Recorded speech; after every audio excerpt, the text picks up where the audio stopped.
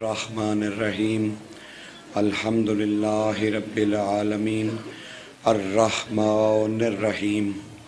والصلاة والسلام على اشرف الانبیاء والمرسلین۔ سیدنا و مولانا ابو القاسم محمد۔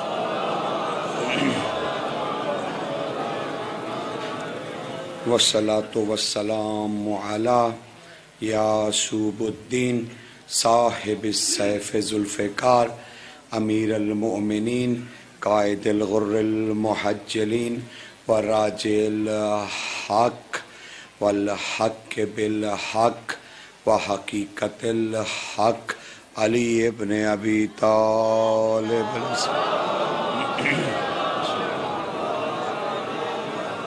والصلاة والسلام على سیدت النساء العالمین بنت نبی الکریم والصلاة والسلام على جمیع الانبیاء والمرسلین واوسیاء الرسل.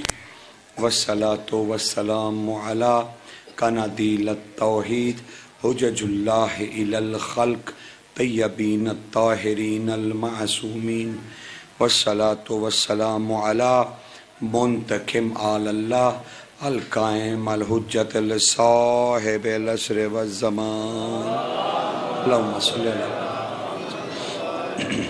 اما بعد، فقد قال اللہ تعالی سبحانہ فی سورة النجم. بسم اللہ الرحمن الرحیم ما ینتق عن الہوا انہو الا ویوہا سلوات پڑھ دیجیے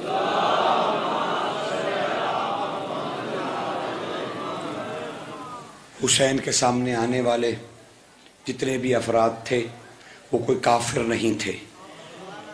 حسین کے مقابلے میں جتنے بھی آنے والے لشکر تھے، وہ کوئی غیر مسلموں پہ مشتمل نہیں تھا۔ اس کی اکثریت مسلمانوں پہ مشتمل تھی۔ آپ کیا سمجھتے ہیں کہ کیا ابن سعد کو یہ رسول اللہ کی حدیث یاد نہ تھی کہ رسول اللہ نے کہا الحسن والحسین، سید شباب اہل الجنہ۔ حسن اور حسین جنت کے سرداروں کے، نوجوانوں کے سردار ہیں۔ کیا ابن سعد کو اور ابن زیاد کو اس بات کا علم نہ تھا کہ رسول اللہ نے حسین کے بارے میں فرمایا کہ یہ سفینت النجات ہے اور مصباح الہدایہ ہے۔ کیا ان کو بھول گئی تھی یہ حدیثیں؟ کیا یزید یہ نہیں جانتا تھا کہ حسین کے بارے میں رسول نے کہہ رکھا ہے کہ حسین منی و انا من الحسین؟ کیا یہ لشکر نہیں جانتا تھا؟ سب کچھ جانتا تھا۔ فرق صرف اتنا ہے، مانتا نہیں تھا۔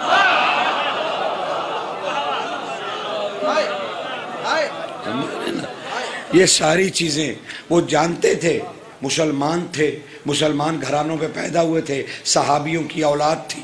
کیا انہیں ان حدیثوں کا نہیں پتا تھا؟ پتا تھا۔ مسئلہ صرف یہ تھا کہ وہ حسین کو مانتے نہیں تھے۔ فضائل سارے جانتے تھے۔ آج بھی جو یہ کہے، حسین یہ حسین یہ حسین یہ، اور پھر اس کی ازاداری پر فتوہ بھی دے، وہ بھی اس لشکر کی طرح ہے جو جانتے تو تھے، مانتے نہ تھے۔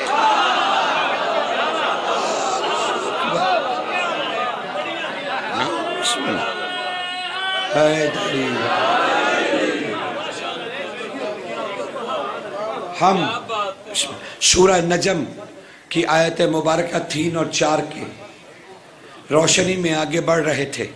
اور آج چھٹی منزل پہ ہم حاضر ہو گئے اللہ اور اللہ کے رسول کے حضور۔ خدا بند عالم کہہ رہا ہے، میرے نبی، اے میرے محبوب، ساری انسانیت کو بتا دے کہ میں اپنی مرضی سے نہیں بولتا۔ اور یہ بات تو اپنی طرف سے نہیں کہے۔ میری طرف سے کہے ماں ینتک انل ہوا میرا نبی۔ محمد کی بات نہیں، میرا نبی میرا نبی۔ اپنی مرضی سے کبھی کوئی بات کرتا ہی نہیں۔ ان ہوا اللہ ویون یوہا، لیکن یہ جب بھی بولتا ہے تو یہ خود نہیں بولتا، میری وہی بولتی ہے۔ یعنی زبان محمد کی یعنی زبان محمد کی، بولتا میں ہوں، الفاظ محمد کے، بولتا میں ہوں۔ کہ محمد رہا ہوتا ہے، مرضی میری۔ اب محمد جس کے ساتھ جو جو کریں، وہ محمد کی مرضی و منشا نہیں آئے، وہ اس اللہ کی مرضی و منشا ہے۔ اگر وہ کہتا ہے کہ یہ حسین اور حسن جنت کے سردار ہیں، تو یہ بھی محمد نہیں کہہ رہے۔ یہ بھی اللہ کہہ رہا ہے۔ لیکن میں عرض کروں کہ ہم حسین کو جب تک نہیں سمجھ سکتے، جب تک ہم یہ نہ سمجھ جائیں کہ حسین کی زندگی کی پہلو کی جہتیں کتنی ہیں، اس کے کتنے پہلو ہیں۔ دیکھیے، حسین کو ماننے کے لیے تین سمتوں کی ضرورت ہے۔ ایک یہ عقیدہ اور اس کو سمجھنا کہ حسین زمین پر آنے سے پہلے کیا تھے۔ سمجھ رہے ہیں نا؟ جب تک ہمیں یہ علم نہ ہو کہ حسین زمین پر آنے سے پہلے کیا تھے، ہم حسین کی معرفت نہیں لے سکتے۔ پھر حسین کا زمین پر ساڑھے ستاون سال تک زمین کو رونق بخشنا، پھر اس کو جاننا ضروری ہے۔ پھر شہادت کے بعد اب تک حسین کیا ہے؟ یہ حسین ہے، ہر صدی کا حسین الگ حسین ہے۔ ہر صدی کا حسین ماننا اور حسین پرستی الگ الگ ہے۔ بھائی، متوکل نے اعلان کیا کہ جو شخص بھی حسین کی زیارت کرنا جانا چاہتا ہے، اس کا ہاتھ کاٹ دو۔ متوکل عباسی صبح سو کے اٹھا، اس نے اپنے محل کے جھروکے کا پردہ ہٹایا، اس نے اپنے محل کے باہر شہر کا نظارہ کیا کیا دیکھتا ہے قطاریں کی قطاریں لگی ہوئی ہیں؟ اس نے اپنے وزیر نبتی سے کہا کہ یہ کیا ہے؟ اس نے کہا، جناب، جو حکم کل دیا تھا دربار میں کہ جو بھی حسین کی زیارت کو جائے گا، ہم اس کا ہاتھ کاٹ دیں گے۔ یہ ساری دنیا قطاریں بنا کے کھڑی ہے کہ ہماری باری کب آئے ہم نے ہاتھ کٹوانا ہے۔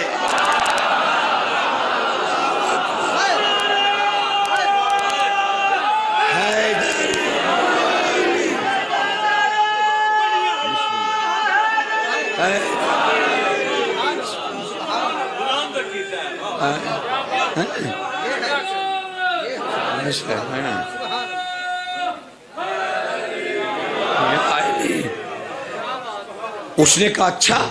اس نے کہا، نہیں، اعلان بدل دو. اس نے دربار لگایا۔ اس نے کہا، ان سب کو بگا دو اور ان سے کہو کہ کل ہم نے آسانی پیدا کی تھی۔ ہم نے وہ اعلان واپس لے لیا صبح وہ زیارت کو جائے گا۔ ہم اسے اجازت دیں گے، جس کا ایک بیٹا وہ اپنے ساتھ لائے، اس کا بیٹا قتل کر دو۔ صبح جب وہ پھر اٹھا، ساری رات سویا نہیں۔ کہ دیکھو تو صحیح صبح کیا ہے؟ یہ حسین ہے، حسین۔ صبح اٹھا تو پہلے سے زیادہ لوگ اور ایک ایک کے ساتھ دو دو تین تین بچے۔ اس نے کہا نتیب جا کے پوچھ. میں نے تو ایک بچہ لانے کو کہا تھا۔ یہ اتنے لوگ زیارت قبر زیارت قبر حسین۔ کہا، یہ اتنے بچے کیوں لے کر آئے ہیں؟ نبتی نے کہا، سرکار میں نے صبح صبح پوچھا تھا جا کے کہ بھئی تم نے بادشاہ کا حکم نہیں سنا؟ ایک بچہ لاؤ، ہم اسے قتل کر دیں گے، تم زیارت کر لو قبر کی۔ کہا، ہمارا بادشاہ بے وقوف ہے۔ مومنین نے کہا، ہم اس لیے دو دو تین تین لائے کہ اب کہیں یہ بہانہ نہ کر دے کہ دو دو کو قتل کرنا ہے۔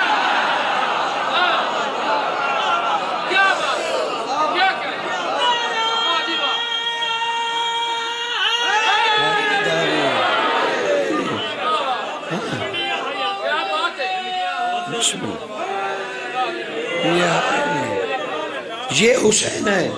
یہ حسین ہے۔ یہ حسین ہے جس کے لیے کیوں؟ کہ حسین نے ارشاد فرمایا تھا، تمہارے سارے امام تمہارے دل میں رہتے ہیں، صرف ایک میں ہوں جو تمہاری آنکھوں میں رہتا ہوں۔ ہاں؟ یہ ایک واحد امام ہے جو حرکت قلب کے لیے اس کا دیکھیے، علم اور فلسفے کے حساب سے یہ طے شدہ امر ہے کہ غم جتنی جلدی مٹ جائیں، حیات کے لیے اتنا ضروری ہے یعنی دکھ مٹ جائیں تاکہ زندگی جاری رہے۔ یہی فطرت کا قانون ہے۔ جتنی جلدی غم بھول جائے، اتنی زندگی کے لیے ضروری ہے۔ یہ واحد غم حسین ہے، جسے جتنا یاد رکھو زندگی بڑھتی ہے۔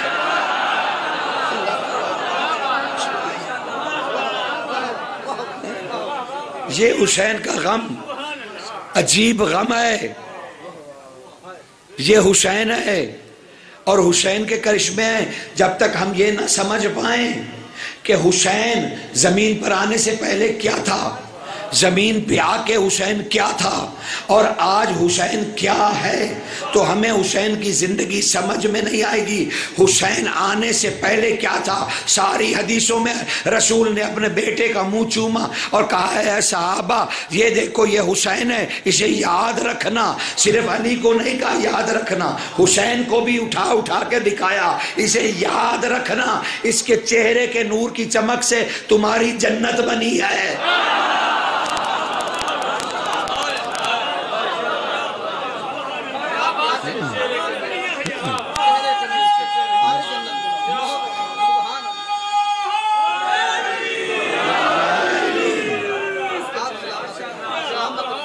اس کے چہرے کی وجہ سے حور و غلامان بنے ہیں، نعمات جنت بنے ہائے، کمال ہو گیا۔ مسلمانوں کی اتنی مشکل جنت۔ جس کے لیے مسلمان مرا جاتا ہے، وہ صرف حسین کے چہرے کی چمک۔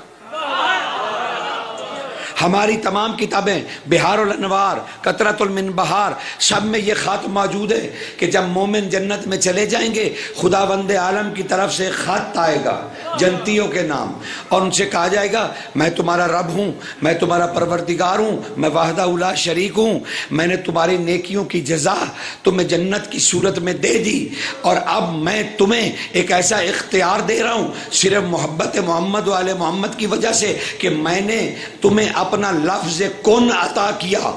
تم جنت میں ہو، لیکن جو تمہارا دل چاہے تم کرتے پھر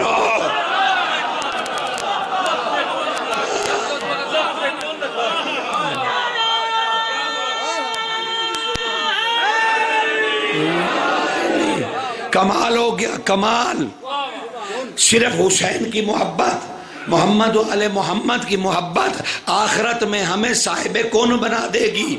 پھر امام فرماتے ہیں کہ اللہ پھر یہ خط میں لکھے گا، اے میرے مومنین، اے محبان محمد علیہ محمد، کون بھی میں نے تمہیں دیا؟ اور اگر تمہیں میری جنت میں کوئی کمی نظر آئے تو اپنی مرضی سے اور بنا لو۔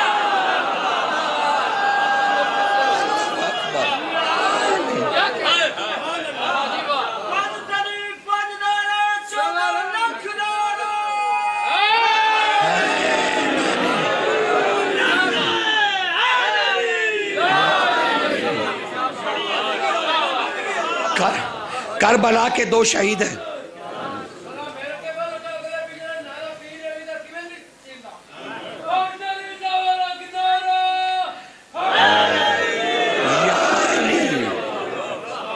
دو کربلا کے شہید ہیں۔ چلو اس بانے تمہیں بھی نام یاد ہو جائیں گے۔ دو کربلا کے شہید ہیں۔ ایک کا نام ہے سرکار آبس بن ابی شبیب شاکری۔ علیہ السلام اور ایک ان کے غلام ہیں، ان کا نام ہے شوزب بن عبداللہ۔ شوزب بن عبداللہ ان کے غلام ہیں، وہ بھی شاکری، ایک ہی خاندان سے ہیں۔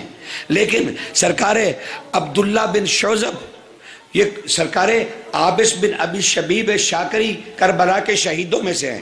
یہ کوئی کمزور انسان نہیں ہے، یہ کوفہ کے بہت بڑے رئیس ہیں۔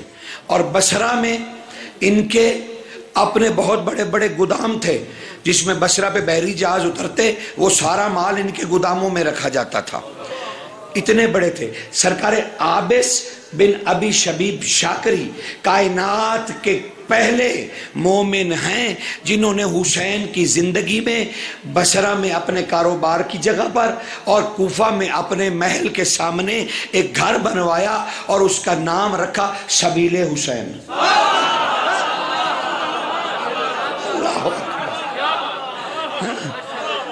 اور اس جگہ پر کھانے اور پانی کا انتظام۔ کھانے اور پانی کا انتظام کروایا۔ لوگ آتے اور شام کو جب اپنے کاروبار سے فارغ ہوتے، لوگ کھانے کے لیے آتے۔ سرکار آبس بن ابھی شبیب شاکری خود ان کے ہاتھ دلاتے، پھر ہاتھ کو چومتے۔ وہ کھانا کھا کے نکلتے، پھر ہاتھ دھلاتے پھر ہاتھ کو چومتے۔ کسی شخص نے پوچھا ابن ابی شبیب، یہ کیا کرتے ہیں آپ؟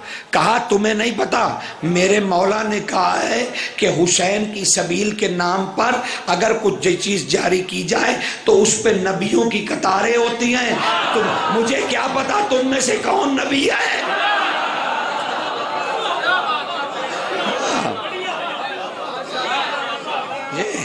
یہ حسین یہ حسین کی صرف سبیل کی فضیلت۔ میں سخت میں سخت ناراض ہوتا ہوں اس وقت جب آپ نیاز تقسیم کریں اور اسے پھینکیں۔ رسول خدا اور آل محمد نے یہ فرمایا ہے کہ نیاز حسین لیتے ہوئے قطاروں میں نبی کھڑے ہوتے ہیں۔ تمہیں کیا پتا کون لینے والا، ایسے کرنے والا عیسیٰ ہے کہ موسا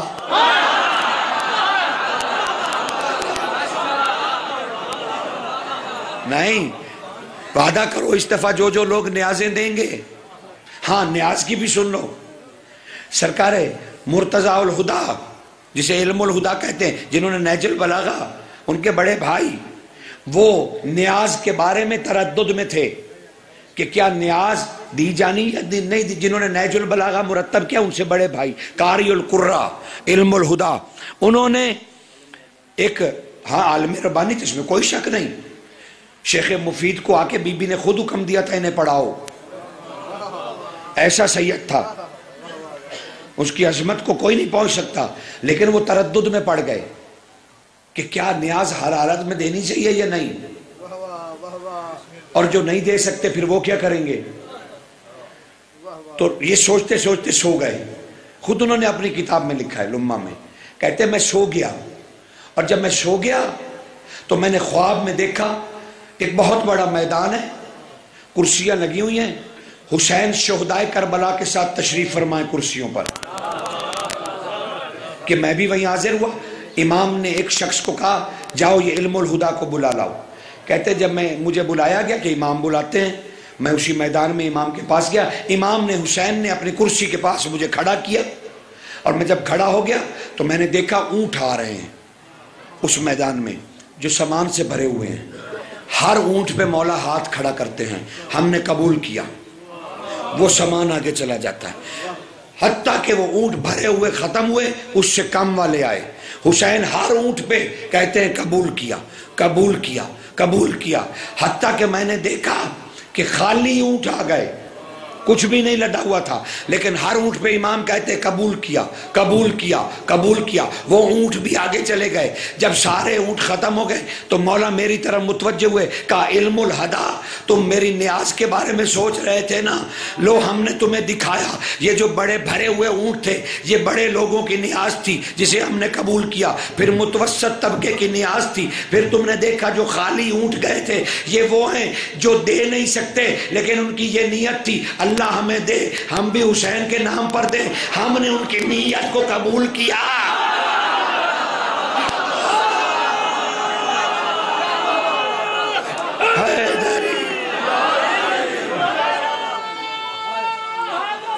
یا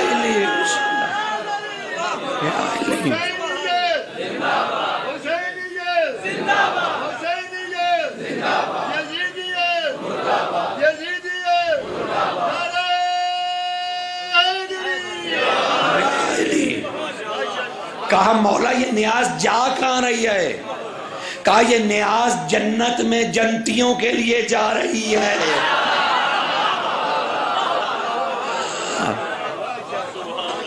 سمجھ رہے نا؟ پھر امام نے کہا کہا علم الہدا، یاد رکھنا، کیسا کریم مولا ہے تمہارا۔ کہا، میرا اگر کوئی مومن جو معاشی طور پر مضبوط نہ ہو، بڑی مشکل سے اپنے بچوں کا کھانا پورا کرتا ہو، وہ روز صبح اٹھا کرے، اپنے چلو میں پانی لے، اتنا پانی کہ اس کے ہاتھ پہ آ جائے۔ ایک گھونٹ کے برابر وہ اسے زیر آسمان لا کر کہے، اے میرے اللہ، میرے پاس یہی تھا، یہ تیرے حسین کی نیاز ہے۔ فرمایا، میں نے عباس کے ذمہ لگایا ہے کہ وہ نو سال تک کربلا میں اس مومن کی طرف سے نیاز دے۔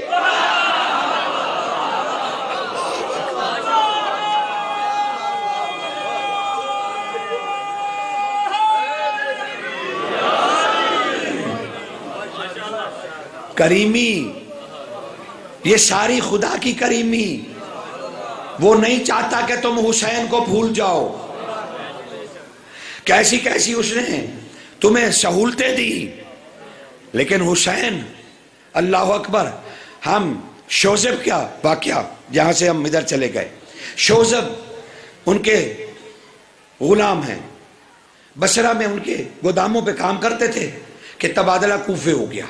شوزب نے جب روز یہ اپنے سرکار ابن ابی شبیب کی آبس ابن شبیب کا جب یہ حالات دیکھا کہ روز نیاز دیتے ہیں، تو ایک دن کہنے لگے، آقا، یہ بتائیے، میں چھوڑ دوں یا پڑھتا رہوں؟ کیونکہ میں آج پندرہ، بیس منٹ ٹریفک کی وجہ سے میں لے گیا۔ ہاں۔ نہیں نہیں مطلب ان کا ٹائم آگے ہو سکتا ہے نا۔ اخلاق اجازت نہیں دیتا۔ سرکار آبس بن پڑھیں گے انشاءاللہ۔ سرکار آبس بن ابی شبیب، لیکن یہ ضروری بات ہے۔ تو میں شہدائے کربلا کا تعارف کرا رہا ہوں کہ آخر یہ شخصیات ہیں کون؟ ہاں یہ کوئی ایسے ہی تھکے ٹوٹے ہوئے لوگ نہیں تھے۔ اپنے اپنے زمانے کے سردار لوگ تھے۔ سرکار آبس سے پول اب متوجہ ہو جائیے، بس کیجیے۔ میں نے اسی لیے کہا تھا کہ میں قطع کر دوں، چھوڑ دوں۔ ہم لوگ آتے رہتے ہیں پڑھنے کے لیے۔ ذکر کو تھوڑی آپ قطع کر دیتے ہیں۔ لا حول ولا قوت الا باللہ العلی العظیم۔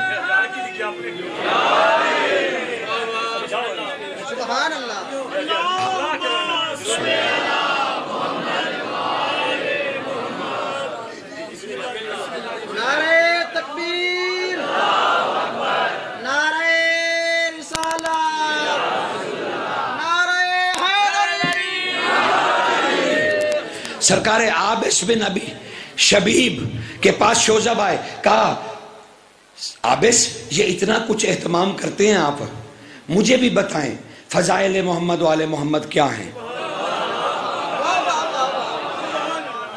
آپ دونوں کربلا کے شہید ہیں، آقا بھی اور غلام بھی، دونوں۔ آپ نے کہا، شوزب، میں تمہیں کیا بتاؤں؟ علی کے اسراروں کا وہ کچھ انہوں نے مولا کے فضائل بیان کیے۔ عبداللہ نے کہا آبس مجھے ذرا اور بتائیے۔ کہا، نہیں، وہ خواص کی بات ہے تو میں نہیں بتا سکتا۔ اب شوزب کہنے لگے، دیکھو، اگر آپ مجھے علی کی ایک فضیلت بتا دو گے نا، میں اپنے آپ کو آپ کی غلامی میں دیتا ہوں۔ آبس نے مسکرا کے کہا اچھا لیکن ہم کسی انسان کو غلام نہیں بناتے۔ کہا، نہیں، تم قیمت مانگو۔ تو شوزب بن عبداللہ شہید کربلا نے سرکار آبس بن ابی شبیب شاکری سے قیمت کیا مانگی؟ کہا اچھا فضائل علی کے عوض، جو تم مجھے روز بتاؤ گے، میں نے اپنے آپ کو تمہیں بیچا۔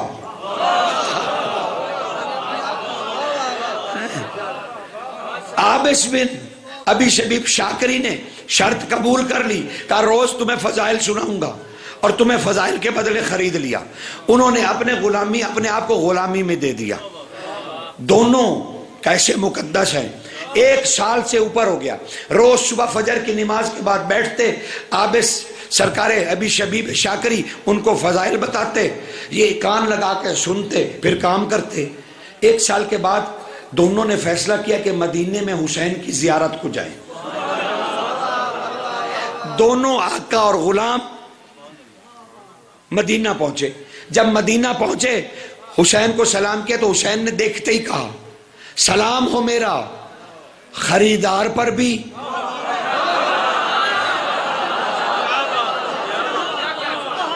اور اپنے آپ کو بیچنے والے پر بھی۔ انہوں نے سلام کیا، بیٹھ گئے، کہنے لگے، خاطر توازو امام نے کی۔ امام نے کہا، عشاء کے بعد تمہیں بات چیت کا موقع دوں گا۔ حسین عشاء سے فارغ ہوئے۔ سامنے دونوں بیٹھے، شوزب بن عبداللہ بھی اور سرکار آبس بن ابی شبیب شاکری بھی۔ دونوں بیٹھے، کہا آبس تم نے کیا چیز دے کے شوزب کو خریدا؟ کہا، مولا فضائل علی کے۔ کہا شوزب تم نے اپنے آپ کو کیسے بیچا؟ کہا، مولا، فضیلت سننے کے لیے اپنے آپ کو بیچ دیا۔ کہا اچھا شوزب، کتنے فضائل سن لیے علی کے؟ اور کتنا عرصہ ہو گیا اپنے آپ کو بیچے؟ کہا، مولا، ایک سال سے زیادہ۔ کہا اچھا کتنے یاد کیے، کتنی معرفت پائی؟ اور کیا یہ بتاتا ہے تمہیں؟ ایک سال میں اس نے، آبس نے تمہیں کیا علی کے بارے میں بتایا؟ کہتا ہے، مولا ایک ہی فضیلت بتائی پورے سال میں۔ روز وہی بتاتے ہیں اور میں ابھی تک سمجھ نہیں پایا۔ میں بھی اسی پر ہی ہوں۔ میں نے بھی آگے نہیں کہا کہ آگے بڑھئے کہا وہ ایک فضیلت کیا ہے جو ایک سال سے روز فجر کے بعد سنتے ہو۔ کہا مولا، یہ انہوں نے مجھے اپنے پاس بٹھایا اور کہا، شوزب، میں نے ساری زندگی غور کیا۔ معصوموں سے کے پاس بھی رہا۔ حسن بادشاہ سے بھی فضائل سنے۔ خود امیر المومنین کی جھلک بھی میں نے کوفہ میں دیکھی۔ لیکن عابس کہتے ہیں، شوزب، میں ساری زندگی سوچتا رہا۔ بس مجھے ایک ہی بات سمجھ آئی ہے، علی علی ہیں۔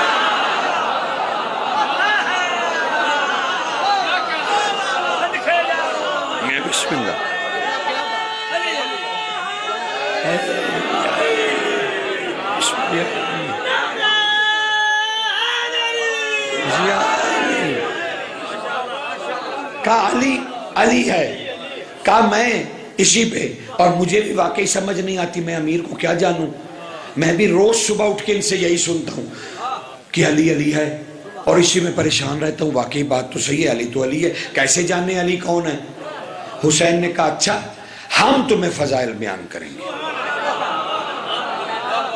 ساری رات حسین قرآن پڑھتے رہے، یہ پاس بیٹھے رہے۔ فجر کے وقت جب نماز کے لیے اٹھنے لگے حسین، تو شوزب اور عابس نے دامن پکڑ لیا، کہا، مولا، ساری رات تیری ہم نے تلاوت سنی، یہ ہمارا شرف ہے، تو نے وعدہ کیا تھا کہ تو علی کے فضائل بیان کرے گا۔ حسین نے مسکرا کے دونوں کی طرف دیکھا اور کہا، مجھے قسم ہے اس رب کی، جس کے قبضہ قدرت میں، حسین کے بدن میں چلتا ہوا خون ہے۔ اللہ اکبر۔ کہا مجھے قسم ہے اس رب جلیل کی جو میرے تنفس کا رب ہے۔ سنو آبس اور شوزب دونوں سنو۔ میں بھی تمہیں یقین دلاتا ہوں قسمیں کھانے کے بعد۔ میں حسین نے بھی ساری زندگی غور کیا۔ یہی فضیلت سمجھ میں آئی کہ علی علی ہے۔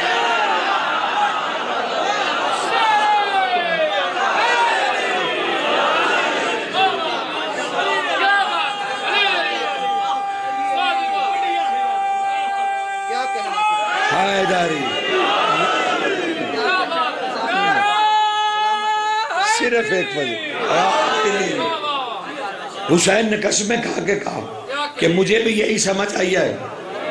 علی علی ہے۔ تب حسین کے چہرے پہ جلال آیا اور مر کے کہا، شوزب، تمہیں اپنے آپ کو علی کے ایک فضیلت کے تحت بیچنے پر اور آبس بن ابی شبیب شاکری، تمہیں اس کو خریدنے پر، فضائل علی پر رب اتنا راضی ہوا کہ تم دونوں کو شودائے کربلا میں شامل کر۔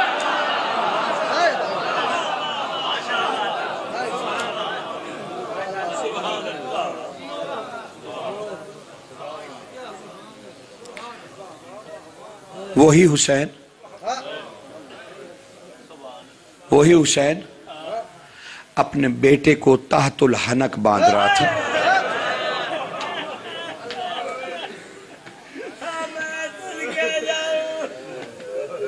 اور کہہ رہا تھا، بیٹا، بس باپ پہ اتنی مہربانی کر کہ جب تو گھوڑے پہ سوار ہو جائے تو جہاں تک ممکن ہو مجھے پلٹ پلٹ کے دیکھ مجھے پلٹ پلٹ کے دیکھتے جانا تاکہ میں تیری زیارت کر کے اپنے نانا کو اپنے پاس محسوس کر گھوڑا چلا۔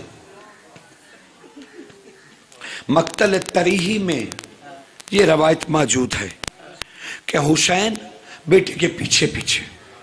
حسین بیٹے کے پیچھے پیچھے۔ حسین کا بیٹا تین دفعہ مڑا، کہا، بابا، لوٹ جائیے۔ کہا اکبر، تمہیں کیا پتا؟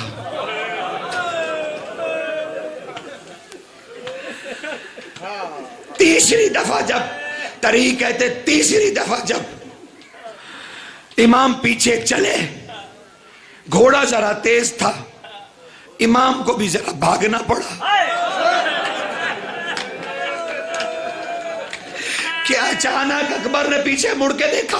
گھوڑے کو تیزی سے روکا، نیچے اترے، پاؤں پہ گر پڑے، کہنے لگے، بابا، میں ہاتھ جوڑتا ہوں، واپس چلے جاؤ۔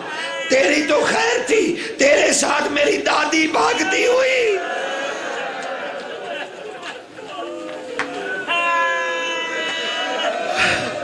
مولا، تیری ماں زہرا۔ تیرے ساتھ بھاگتی ہوئی۔ پہنچ گیا میدان میں اکبر۔ میمنہ پہ کبھی میسرہ پہ کبھی کبھی قلب لشکر، کبھی راو، کبھی اطراف۔ علی کا پوتا، علی کی جنگ یاد دلاتا رہا کہ شیبی نے ایک ایسا دھوکے سے نیزہ مارا کہ ناتے کے قرآن زمین پر آ گرا۔ اس نے برچھی کو توڑا۔ کہا، دیکھتے ہیں نا، حسین جب لاشا اس جوان کا لے جائے گا۔ حسین جیسے بھی پہنچے، بس تھوڑی سی زحمت تمہیں آنسو آ جائے تمہارا، زہرا راضی ہو کے چلی جائیں گی۔ کریم اتنے کہتے ہیں کہ تمہاری آنکھ میں اتنا پانی آ جائے کہ مچھر کا پر گیلا ہو جائے۔ ہم راضی ہیں۔ کریم اتنا۔ نعت قرآن زمین پر سینہ پکڑا ہوا ہے۔ اللہ اکبر، کہ حسین پہنچے۔ کہا، بیٹا، سینے سے ہاتھ اٹھا۔ میرے گلے میں حمائل کر تاکہ میں تجھے لے جاؤں۔ کہا، بابا، سینے سے ہاتھ نہیں اٹھ سکتا کہا، کیوں بیٹا؟ کہا، بابا، اس میں برچی کا پالا ہے۔ وہ اس نے توڑا تھا شیبی نے اور کہا تھا، دیکھتا ہوں حسین اپنے جوان کو کیسے لے جاتا ہے۔ کہا، بیٹا، تو پھر تیار ہے نا، میں نکال دوں۔ گرم ریت پر حسین نے زانو رکھا۔ ٹیک لی، ہاتھ ڈالا۔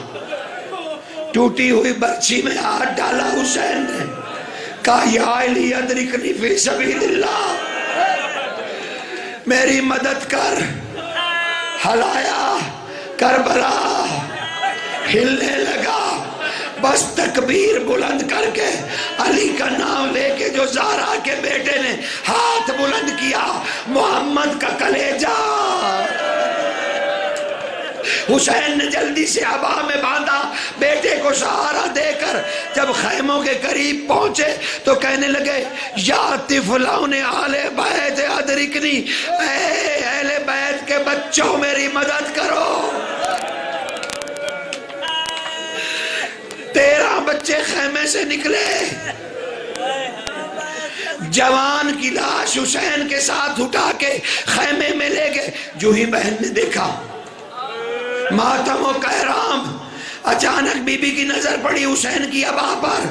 کچھ باندھا ہوا سینے سے لگایا ہوا تھا۔ کہا، بھیا، یہ کیا ہے؟ کہا، بی بی، کچھ نہیں۔ کہا، نہیں بھیا، دکھا تو صحیح۔ کہا، پھر خود کھول لے۔ جو ہی حسین کی ابا کھولی، زینب نے دیکھا، ایک نیزے کی انیا ہے، اس میں ایک کلیجہ کہا، بھیا، یہ کیا ہے؟ کہا، محمد کا کلیجہ اللہ قالوا